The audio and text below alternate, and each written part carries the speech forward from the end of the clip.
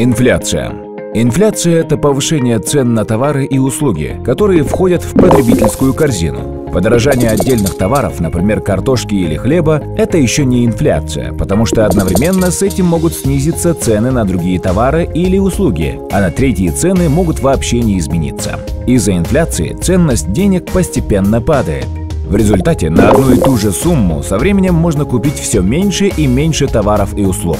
Какой должна быть инфляция? В Кыргызстане целевой ориентир инфляции определен диапазоном 5-7%, что приемлемо для большинства развивающихся стран. При этом в отдельные периоды инфляция может ускоряться или замедляться. В чем причины инфляции? В нашей стране на уровень цен большое влияние оказывают цены импорта и курсы валют, а также множество других факторов. На инфляцию также влияют действия потребителей. Большой спрос на какой-то товар может привести к тому, что продавцы начнут повышать на него цены, а покупатели, ожидая повышения цен, станут покупать больше товаров и услуг. В таком случае инфляция будет ускоряться.